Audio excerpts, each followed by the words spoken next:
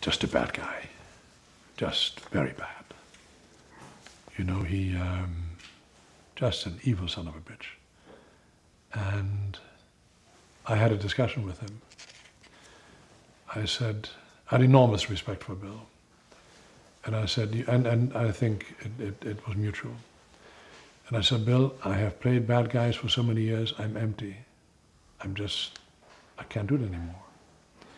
Can we somehow assign something to the background of this character that explains why he is who he is, that gives him a sociological background that um, justifies who he is.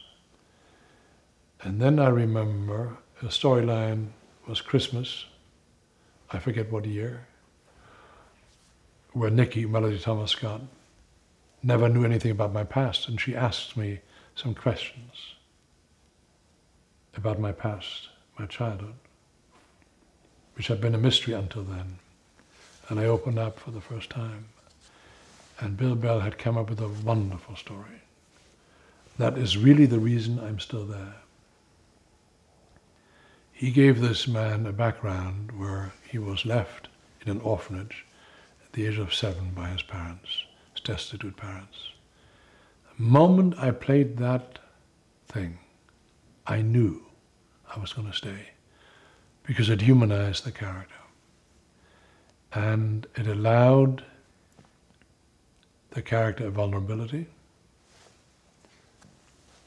a humanity, and explained why he was tough, angry, and yet could be, if approached the right way, vulnerable, gentle, and uh, boy, Bill knew how to do that. He, he just he just wrote a wonderful character.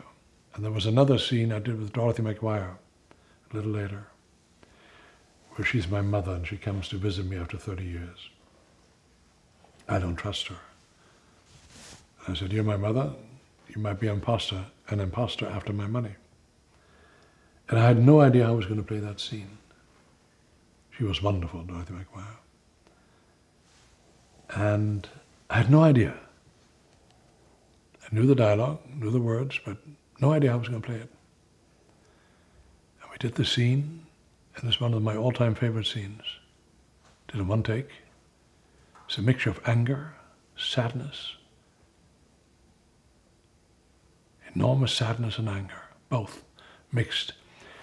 I knew she was my mother because brilliantly they had written that she talks about the fact that I had a hole in my sweater, and only she could have known that.